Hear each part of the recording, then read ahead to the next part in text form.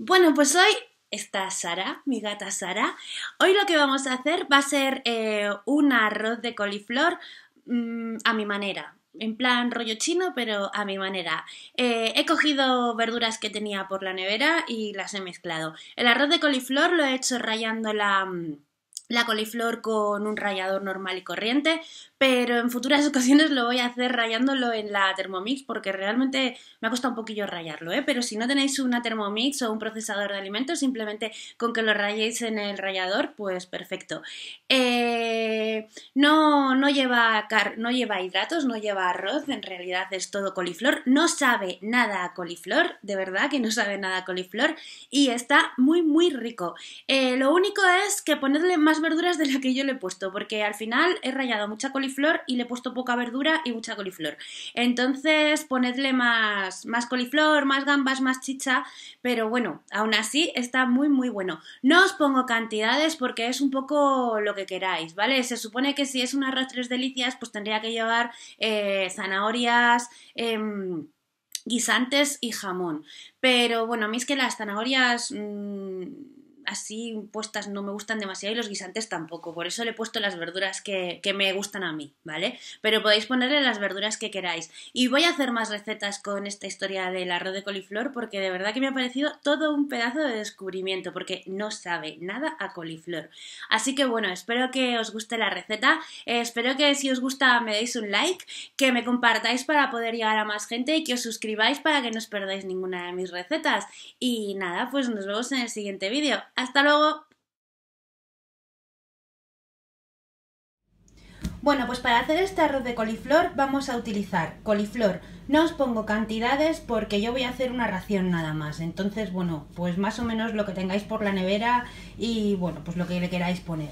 Pero vamos, coliflor, un poquito de cebolla, esto es cebolleta fresca, pimiento verde, lo suyo es que llevase guisantes, pero es que a mí los guisantes no me gustan, así que pimiento verde, jamón de York, en taquitos. Unas gambas, maíz, un huevo, salsa de soja. Yo utilizo esta con, con poca sal, bueno, con poca sal, con menos sal.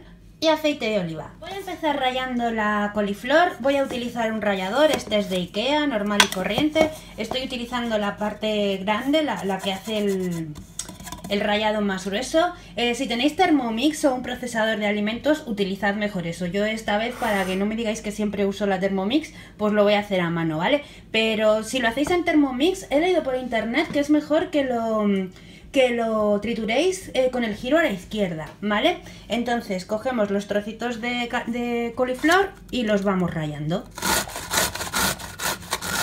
Bueno, pues ya la he rayado, así es como ha quedado. ¿Vale? Entonces nos vamos a ir al fuego a hacerlo todo. Esto se va a hacer en un pispás, ¿vale? Bueno, yo tengo un wok, ¿vale? Pero si no tenéis, en una sartén os vale perfectamente. Le voy a poner un poquito de aceite.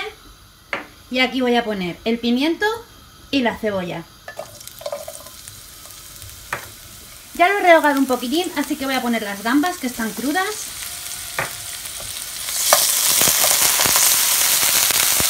Y la coliflor.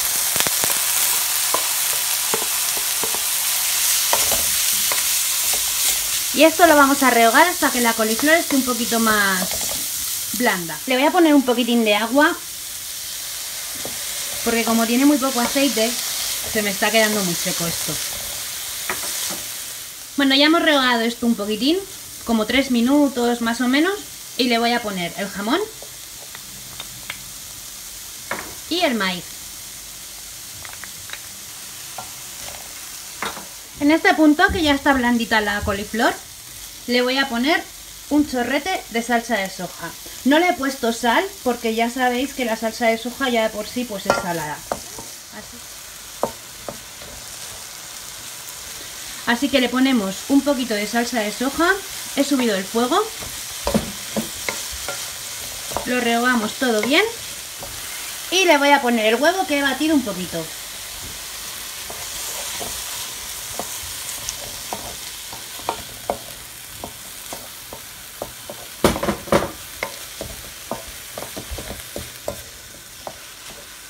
Apago el fuego.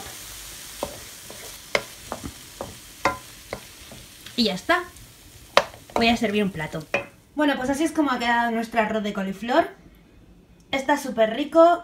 No os olvidéis de no añadirle sal por el tema de la salsa de soja. Si no le ponéis salsa de soja, sí que le ponéis sal. Y bueno, pues no es arroz, obviamente.